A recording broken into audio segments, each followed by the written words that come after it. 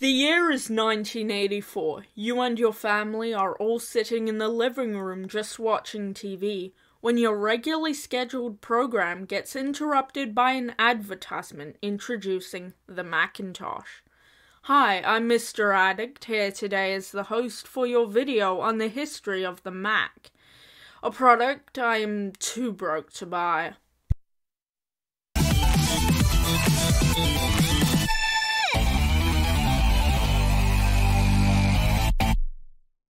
In 1979, the Macintosh project was conceived by Jeff Raskin. Jeff Raskin, born 9 March 1943 in New York, eh, New York and died 26 February 2005, was an American human computer interface expert. This project would later be redefined by Apple's co founder Steve Jobs in 1981.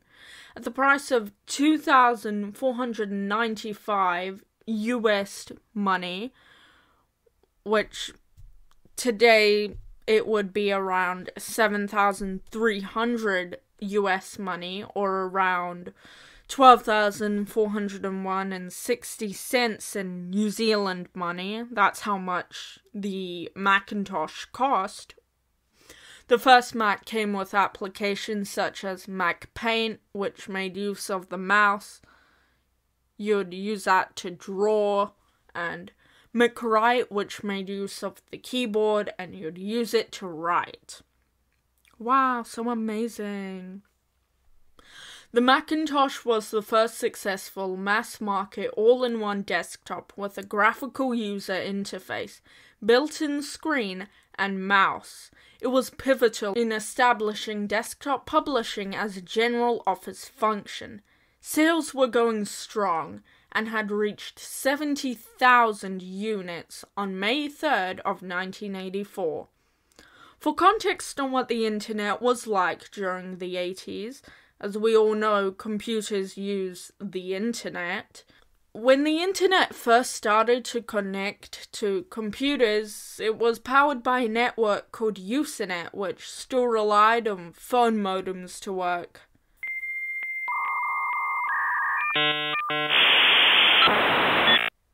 So, the internet wasn't fast at all. When the 90s rolled around, we were introduced to a new age of the internet. In the span of a decade, web pages went from little more than glorified Word documents to sites full of vibrant colors, cheesy curses, and excessive animation. And we cannot forget about internet chat rooms now, can we? These started to pop up everywhere. In 1992, Apple released the Macintosh PowerBook Duo 210, which featured 4 megabytes of RAM and an 80 megabyte hard drive in a compact, lightweight, portable case. These devices weighed just 4 pounds, which is 1.81 kilograms, and used docking stations, which allowed the user to have more ports to use. In 1998, Apple introduced the iMac, which had a colorful design unlike the beige boxes of the time. It introduced USB ports to the Mac and had an emphasis on simplicity. It also had a 4GB hard drive and a tray loading CD ROM drive. In the 2000s, fast internet was just becoming a thing, when it came to the web, you would find that most of the web pages were filled with obscure links, pixelated images, and terrible search bars. Chat rooms were becoming very popular. In 2006, Apple introduced the Intel iMac. It was the first Mac to be based on Intel's Core Duo processor instead of using PowerPC processors. It had 1 gigabyte of RAM and a 250 gigabyte hard drive. In 2008, Apple released the MacBook Air, Apple's thinnest and lightest notebook ever, but it lacked a CD drive, which was unusual for the time and only had two USB ports, but it also introduced a new gesture based trackpad that borrowed ideas from the iPhone. Storage capacity was increased to a 128 gigabyte SSD. Of course, over the years, there were tons of different Mac models, more than I have talked about, but we'd be here all day.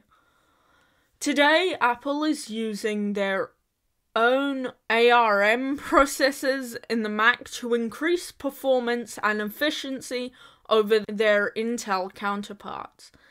They have more Mac users than ever, driving sales up.